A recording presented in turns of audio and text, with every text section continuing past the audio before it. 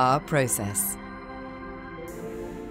We have developed a logical, bespoke approach to our projects over the last 12 years to ensure that we put as much emphasis into the planning as we do the creativity. So how do we do it?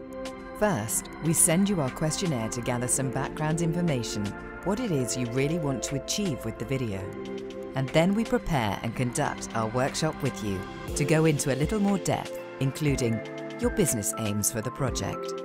For example, to increase online sales, increase people's understanding of what you do, or assist your sales team in pitches and presentations.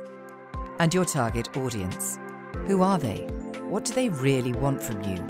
What are their potential reservations about using you?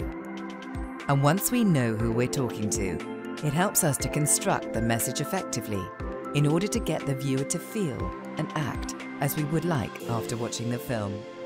And the final but essential component is market analysis of both competitors and non-competitors alike.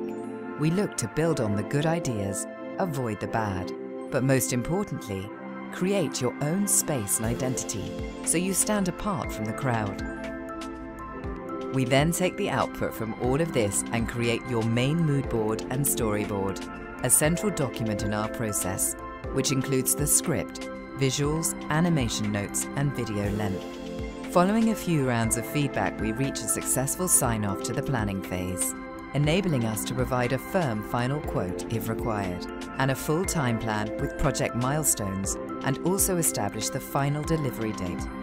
Then, if we're producing an animation or motion graphic for you, we create the static designs, giving a number of rounds of feedback and honing the creative as we go taking brand guidelines into account as required.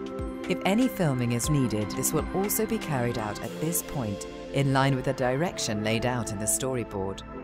And we can then create the final animation or video. And this is where all the assets are brought together along with any music and voiceover work. Then all you need to do is sit back, watch and enjoy the output. Higher Ground, making video work for you.